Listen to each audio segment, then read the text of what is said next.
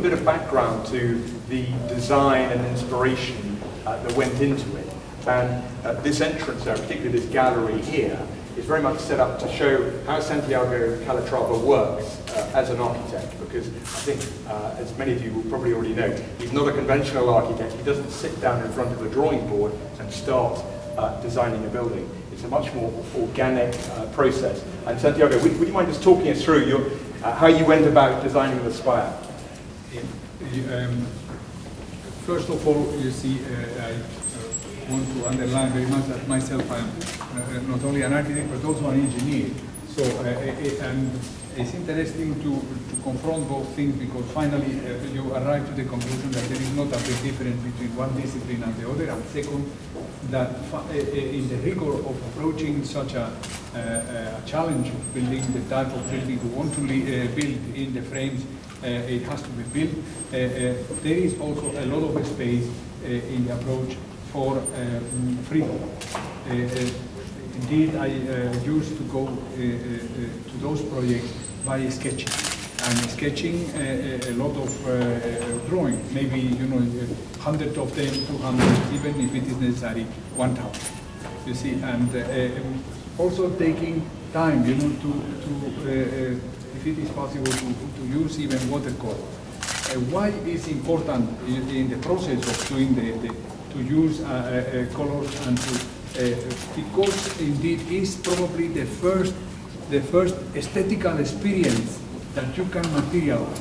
So by, by seeing the blue, by seeing the yellow, by uh, also by, by combining graphite and, and or even by, by, by, putting just the plants in a certain layout, you see on a piece of paper, you started delivering uh, clearly very precise messages. You can count how many corners the building will have you see also there is a circle, there is a core, there is a certain process of, of uh, certain dynamics included in the shape we try to do. There is even some sketches still already saying here will be the elevator, can be that the corridor for entering into the core, the core will have a certain signal. So there is a lot of technical information, but still there is also a, a, an orange color around. Why, uh, what you are saying it is to everybody, you know, first of all, you know, there is an emotion that it has to be cut all the way. Now, it seems to be a little bit strange that I tell you, but I learned it, or I hear and I constated it by hearing about the way how other people work.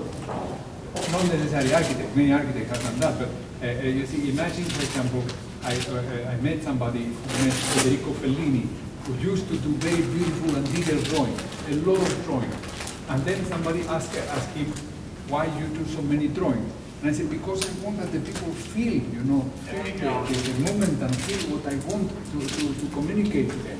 So he makes maybe two for one shot, one drawing, which is an enormous amount of drawing for a film.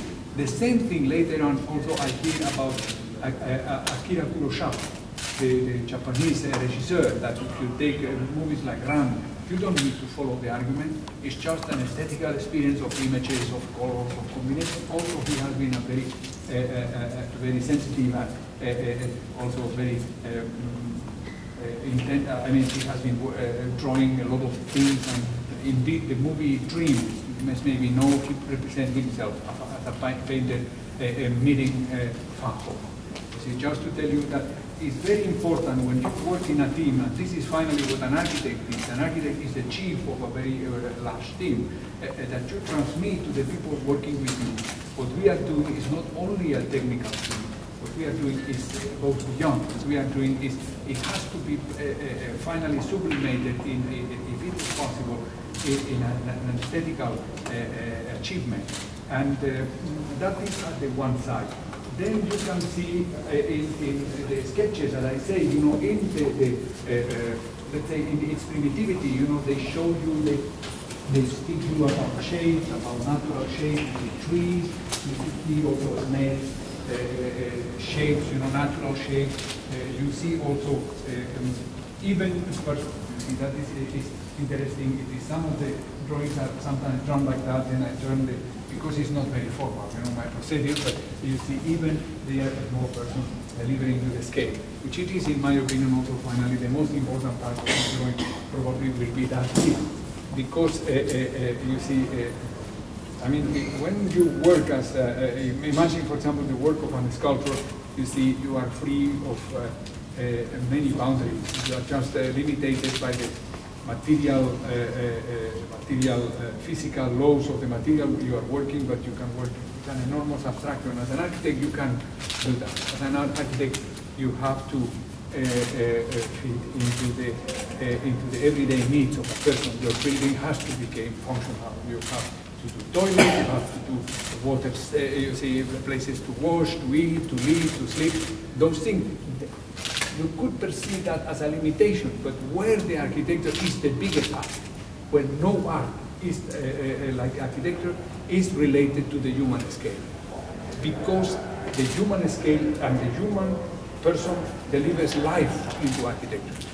And it is so big that, in my opinion, all the biggest cultures of the 20th century has been, has been, has been very much confronted to these kind of things, and this city, uh, uh, uh, let's say, bring that very clear, you know, to life. When you see the works of Alexander Calder or the work of Picasso, you could almost think they wanted to do these things. You can penetrate them. You can go uh, uh, under the arcs, the arcades of the building of, or, or let's say, of, of the Alexander Calder sculpture in front of the city hall, or even the, the almost uh, Picasso uh, woman's head.